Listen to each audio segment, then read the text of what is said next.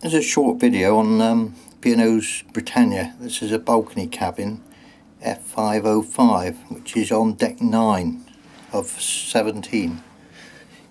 There's um, area for clothing and this cupboard which has got a safe in it which is free to use. Yeah, some ships charge you £25 for that so that's a good deal on that. There's a usual bathroom or toilet, whatever you want to call it. Shower's good because it's a glass screen rather than a normal curtain. Plenty of room in it.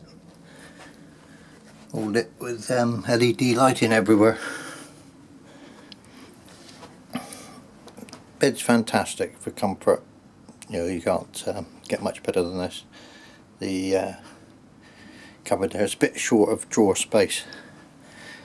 I think um, the only downside of these this ship is the colour which is all beige, brown and black with a couple of blue carpets. There's no colour in it at all, not even in the atrium.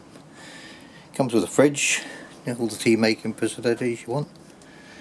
Um, balcony, which is a bit small, you can sit in it but you wouldn't be able to lie down. The thing you would need to watch on this one is that you don't get deck G because you'll have that light boat right in front of your balcony. So this is one above which is alright you know shows everything. All in all this is um, not as good as an NCL or a Royal Caribbean but I'd put it about third place. But uh, it is um, most people would find this really good. So you wouldn't be disappointed with it. The probably the best part that this ship's got that not many others have got is um, film on demand.